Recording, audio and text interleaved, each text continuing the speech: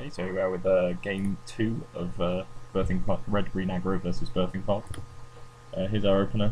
It's not the uh, best in the world, but Pillar of Flame's pretty nice against his Kitchen Finks. Uh, strangle, a couple of Strangler Geist with the early plays and the Bolt. It's not too bad.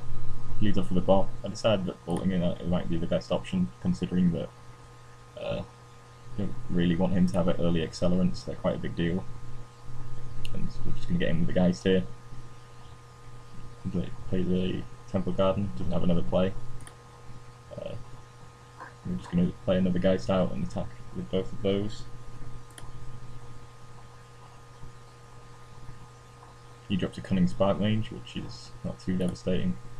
Just going to Pillar of Flame it here. If he uh, shoots one of them, they'll come back. Uh, they have haste, so it's not a big deal, they'll just be bigger.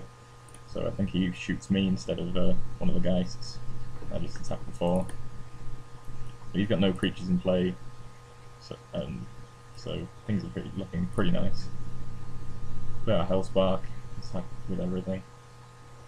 Uh, we failed to play around the Restoration Angel again, which uh, definitely a mistake. We should definitely be wary whenever he has 4 mana open of a Restoration Angel. And uh, maybe should have kept the ball back. But uh, Still not terrible, we're still going to get in some fairly reasonable amount of damage. Putting down to 6. Here I wasn't sure what the play was. Um, you can probably see by what I pressed. Uh, I'm going to play the Groundbreaker. Um, again, I didn't really play around second a second Restoration Angel, which is potentially a problem. But uh, generally, I think we're okay. Actually, second Restoration Angel would it have been a problem? Um, I'm not sure, but uh, anyway, I made the play, and uh, ultimately it worked out in my favour.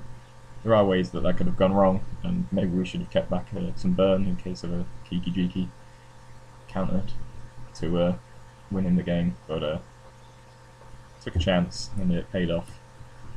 We won the game there.